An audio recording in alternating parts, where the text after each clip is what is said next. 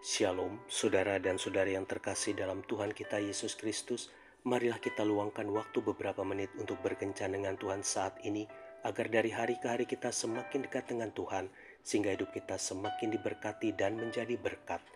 Kencan dengan Tuhan, Jumat 29 September 2023. Bacaan dari kitab Pengkhotbah bab 7 ayat 14.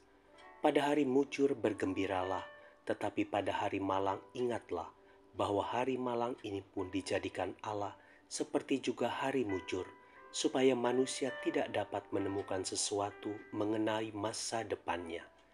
Demikianlah sabda Tuhan, syukur kepada Allah.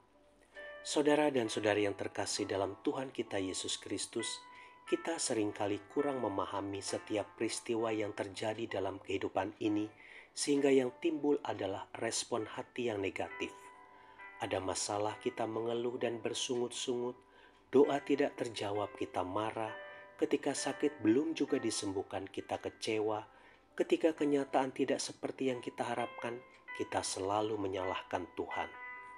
Saudara dan saudari yang terkasih dalam Tuhan kita Yesus Kristus, Yesus merespon berbeda. Saat berdoa di Taman Getsemani dalam tubuh manusianya, dia berdoa kepada Bapa, Ya Bapa, jikalau sekiranya mungkin, biarlah cawan ini lalu daripadaku. Dengan kata lain, sebagai manusia, ia juga memiliki keinginan untuk diluputi dari penderitaan yang berat. Tetapi janganlah seperti yang ku kehendaki, melainkan seperti yang engkau kehendaki. Artinya apa pun yang terjadi, seberat apa pun kenyataan yang harus dihadapi, Seberapapun harga yang harus dibayar, Tuhan Yesus tetap belajar untuk memahami. Ia menempatkan kehendak Bapa lebih dari segala-galanya. Karena itu ia menyerahkan semuanya kepada kehendak Bapa. Makananku ialah melakukan kehendak Dia yang mengutus aku dan menyelesaikan pekerjaannya.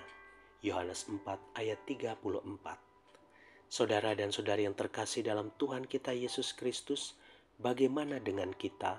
Bukankah kita sering kali mendikte dan memaksa Tuhan untuk menuruti keinginan dan kemauan kita, serta tidak mau tunduk kepada kehendak Tuhan? Kita berpikir bahwa apa yang kita inginkan adalah yang terbaik bagi kehidupan kita. Kita merasa lebih tahu tentang hidup kita dan masa depan kita. Sadarilah, kita ini terbatas dalam segala hal. Tuhan tahu segala-galanya ia tahu persis yang terbaik buat kita. Itulah sebabnya apa yang Tuhan izinkan terjadi justru bertentangan dengan apa yang kita bayangkan dan inginkan. Namun, selalu ada maksud Tuhan yang baik di balik setiap pergumulan yang kita alami. Tuhan Yesus memberkati. Marilah kita berdoa dalam nama Bapa dan Putra dan Roh Kudus. Amin. Tuhan Yesus, ampunilah aku kalau aku sering memaksakan kehendakku padamu. Kini aku sadar bahwa kehendakmu lah yang terbaik dalam hidupku. Amin. Dalam nama Bapa dan Putra dan Roh Kudus. Amin.